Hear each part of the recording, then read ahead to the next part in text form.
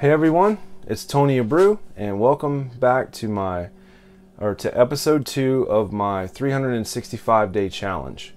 So yesterday, uh, I took a bold step and I put out my first video. Uh, basically, basically declared that I am going to do 365 days of um, videos uh, just on personal development and to basically document the journey uh, and to see what it's going to be like in a year from now. So, uh, let me just start by saying that yesterday was full of challenges. Um, the video was only like five or six minutes long, but man, it took forever to upload. Uh, I had to upload it like four or five different times because it kept like messing up on me. And then uh, I finally got it out at like midnight, and today, like, only a couple people watched it. it's kind of funny, but expected because I had zero followers when I started. So, in today's episode, I want to talk about noise. The noise that goes on in our head. So, let me just tell you about the noise. If I listened to the noise in my head, I would have never even put out the video yesterday, much less I would have stopped today. Um, I wouldn't even have I'd have just been, okay, forget it. Because when I woke up this morning, the noise was out of control. Now, let me uh, share a little bit about what I know about noise. So, back in 2006, uh, I started learning about the noise. And let me just give you an example, real quick. Have you ever been talking to somebody, which this happens to me all the time, and you're talking to them, and all of a sudden they go, Wait, what? It's like they heard you say something, but they weren't really listening because they were checked out somewhere else. That's the noise. And so the noise is constantly going on in your head. It's that other person in your head or whatever you want to call them. Um, and in my opinion, if you can learn to shut that noise off, number one, you're going to go a lot further. But number two, you're going to be able to pay attention on a whole nother level. So let me share about my experience with that. So back in 06, 07, I became aware of the noise. Um, I remember distinctly uh, people talking to me, and I would just be like, huh? And then I would like replay the message in my head because I was listening, but I wasn't really listening on the outer level. And then I would repeat it back to them. And I'm like, they're like, why did you just do that? I'm like, I don't know. But once I started realizing it and I started uh, learning about it, I figured out that I was in my head and I wasn't present. So being present is a huge, huge thing if you want to go to the next level or if you just want to improve your life. Um, there's a book, and I read this book. It's called The Power of Now by Eckhart Tolle, and it explains all about being in the now and the benefits and the things that you can do to, to get there. So once I become aware of it, I remember working on it for like a solid week.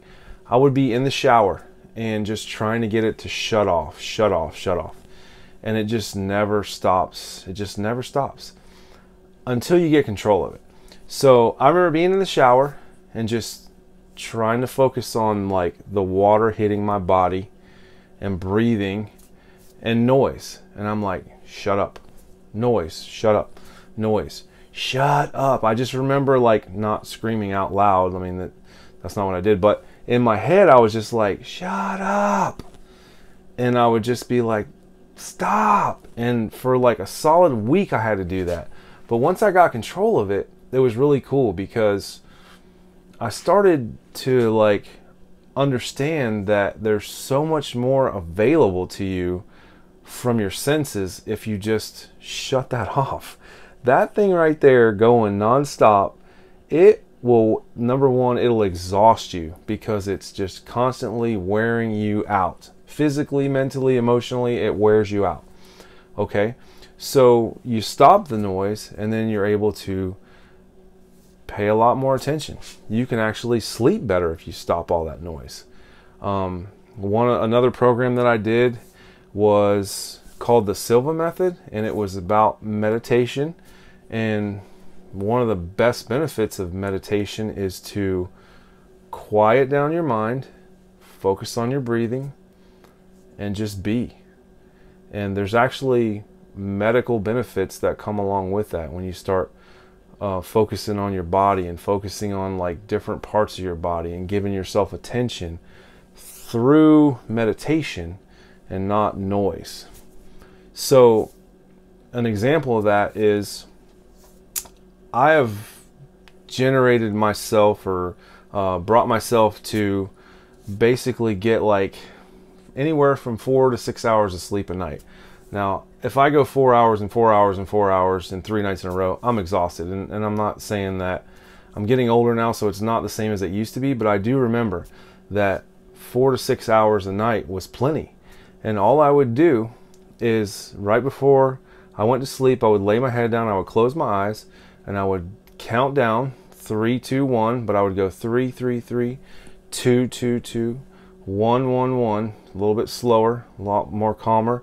But every time I would say the three, I would picture a three in a vision, and then a two, and then a one. And then from there, I would start counting down from 10 and take a deep breath and just go nine and just deep breath and just start slowing everything down. Just slow it down.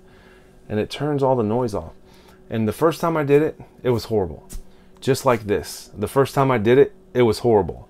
But now I'm to the point to where I don't really care because I'm not listening to the noise anymore.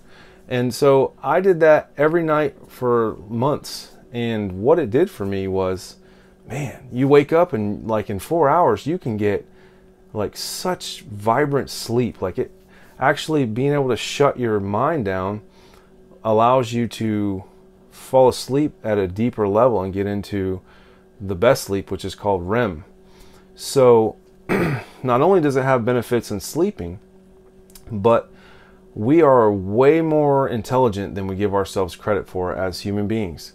And one of the things that I've been able to do after I shut the noise down, and I, I still have problems with it, you know, here and there because you get in these little ruts and you get out of them and it just comes around or whatever. But when you shut the noise down, you start focusing on all the things going on around you. So, not having the noise allows you to be able to put more focus on the rest of your senses, like the feeling of your skin, like the like all the things that you can see out of your eyes. Just because I'm looking at you doesn't mean I can't see like 180 degrees around me right now. So um, that's another thing. Hearing. Wow, hearing. So hearing is a huge thing. I used to, my ears used to ring like crazy because I shot so many guns when I was a kid, just being out in the woods and playing and shooting skeet and whatever. And my ears still ring a little bit now, but I have the best hearing in the world. And it's because I feel like I really focus because I don't have all the noise going on all the time. Now, I do have noise. This morning I had lots of noise about what this episode was going to be. And I'm talking about the noise was out of control all day long.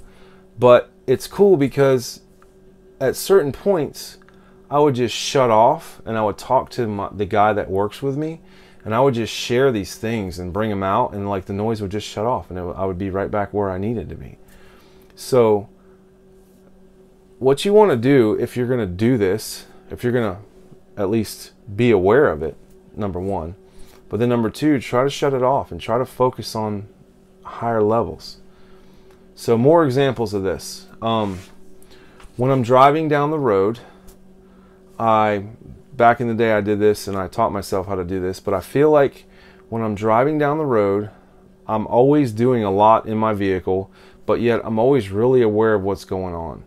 So, one of the things that I used to do as an exercise was as I was coming up to uh, traffic that was stopped, I would have my foot on the brake and I would be looking in the rearview mirror, watching behind me as I came up on traffic but even though I was looking in the rearview mirror behind me, I was still able to see through the rest of my vision in front of me and not hit traffic. So that was a small exercise I did. I'm sure there's so many more exercises you can do. Um, but these are just little things that I do. Like when I drive, okay, um, I, I, I drive like a mile ahead of me. Like most people when they drive, they're like right here.